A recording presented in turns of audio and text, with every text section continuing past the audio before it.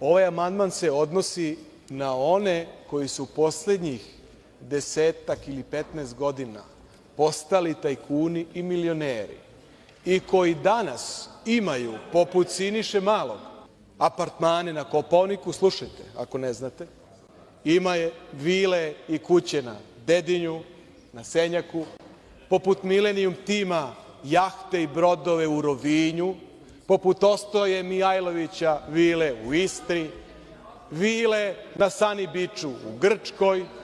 Dakle, svi ovi vaši biznismeni i vi članovi Srpske napredne stranke, da li ste svesni koga štitite? Da li ste svesni koliko je njih postalo bogatije za hotele, za vile, za automobile koji koštaju stotine hiljada evra, da štitite najveće tajkune? E, mi njih tražimo da oporezujemo, a ne građane Srbije.